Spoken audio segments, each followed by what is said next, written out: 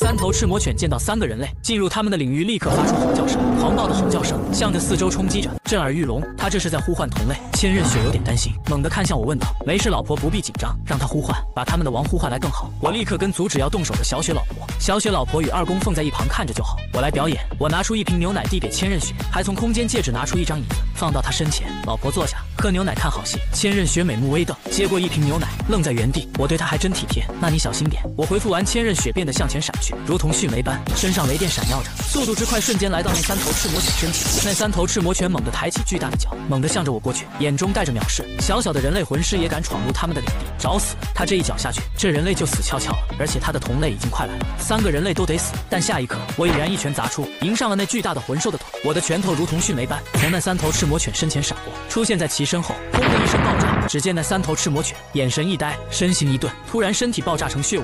我完全不用武魂与魂环，直接用出化自在法，便一拳将三万年的三头赤魔犬给砸成血雾。太帅了！千仞雪花痴说道。发现我已经将地狱三头魔犬给解决了，而且只用了一拳，还没释放武魂与魂环，真是强啊！守在千仞雪身旁的金鳄斗罗也是很惊讶，看来还是小看这小子了，每次都能带给他不一样的惊讶。随着我一拳砸死一只三头赤魔犬后，地面突然震动着，有十几只三头赤魔犬向着这边狂奔而来，年份有高有低，但大部分都是三三四万年。天使领域，千仞雪突然娇喝一声，只见一个金色的能量照向四周扩散而去。领域展开后，能够笼罩空中数千平方米的范围，在这范围内，千仞雪就是绝对的主宰。天使领域能让千仞雪化身虚幻，对千仞雪自身实力增幅百分之三十。本来武魂真身状态下增幅百分之三十，可以给队友附加，削弱敌方百分之十。领域内充满自带净化消融效果的神圣能量，能够不断消融敌方的魂力。领域中，千仞雪能够大幅度削弱敌方的感官能，还能将敌方固定在领域的中心位置，哪怕是瞬间移动，都只会是原地踏步。即便是借助千仞雪的攻击移动一段距离，在攻击效果消散后，就会立刻回到中心位置。以上是六翼天使武魂的领域能力，而他现在的武魂可是十二翼天使，超级一般神级的武魂了。不用武魂真身，效果比用武魂真身的魂技还要强百分之三十，对队友的实力也增幅到了百分之二十，确实很牛了。我感觉浑身舒服，如同沐浴在春天的早晨阳光中般，感觉自己的实力更强了。不用谢，举手之劳，我不能当个花瓶。千仞雪喝着牛奶，美美的说道。